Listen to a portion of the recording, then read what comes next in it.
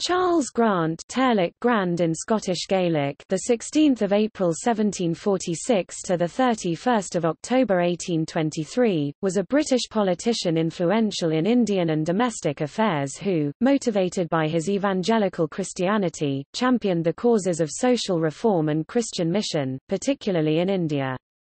He served as chairman of the British East India Company, and as a Member of Parliament MP, and was an energetic member of the Clapham sect. The Clapham sect were a group of social activists who spoke out about the moral imperative to end slavery.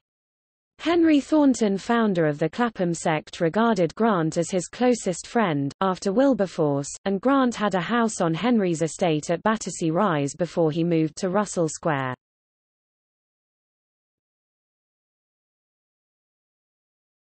Topic: Life. Grant was born at Aldourie, Inverness Shire, Scotland on the same day his father, Alexander Grant, was killed fighting for the Jacobites, against the British Crown, at Culloden. However, Charles Grant himself was one of the growing number of Scots who prospered in the service of the British Empire.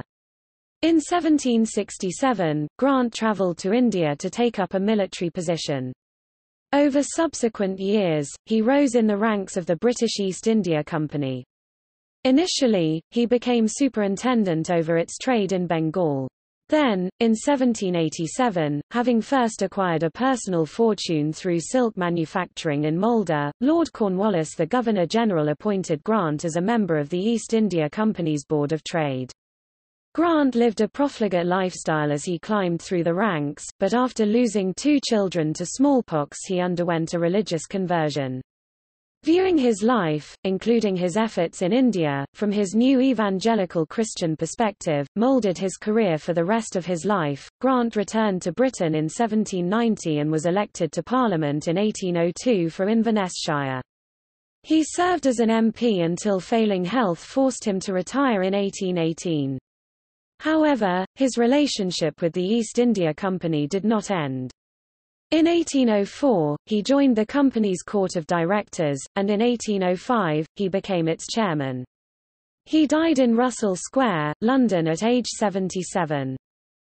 His eldest son, Charles, was born in India and later followed his father into politics, eventually becoming a British peer as Baron Glenelg.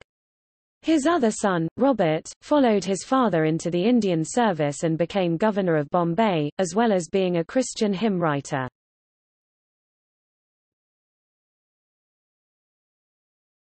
Topic: Indian affairs. In 1792, Grant wrote the tract, Observations on the State of Society among the Asiatic Subjects of Great Britain. This famous essay pleaded for education and Christian mission to be tolerated in India alongside the East India Company's traditional commercial activity. It argued that India could be advanced socially and morally by compelling the company to permit Christian missionaries into India, a view diametrically opposed to the long-held position of the East India Company that Christian missionary work in India conflicted with its commercial interests and should be prohibited. In 1797, Grant presented his essay to the company's directors, and then later in 1813, along with the reformer William Wilberforce, successfully to the House of Commons. The Commons ordered its reprinting during the important debates on the renewal of the company's charter. He was largely responsible for the foundation of East India Company College, which was later erected at Haileybury. As chairman of the company, Grant used his position to sponsor many chaplains to India, among them Claudius Buchanan and Henry Martyn.